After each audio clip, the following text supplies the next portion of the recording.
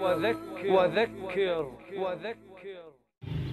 السلام عليكم ورحمة الله وبركاته مشاهدينا الكرام. إلى حلقة جديدة من برنامجكم الديني وذكر. أذكركم ونفسي أولا بقول الله عز وجل بعد أعوذ بالله من الشيطان الرجيم. إن الله وملائكته يصلون على النبي.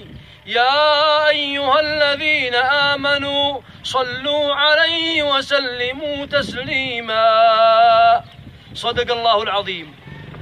الله عز وجل في هذه الآية يأمرنا بالصلاة على رسوله الكريم. اللهم فصل وسلم وبارك وتحنن وترحم على حبيبك المعظم المكرم سيدنا محمد وعلى آله الأطهار وصحابته الأخيار ما تعاقب الليل والنهار. أتدرون من المفلس ومن البخيل؟ الذي إذا ذكر النبي عنده لا يصلي عليه. صلوا على رسول الله وعلى آله. سؤال حلقة هذا اليوم يقول ما هي الصلاة التي تجوز بدون وضوء؟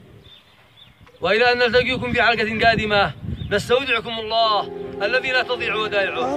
دمتم في رعاية الله وحفظه. والسلام عليكم ورحمة الله وبركاته.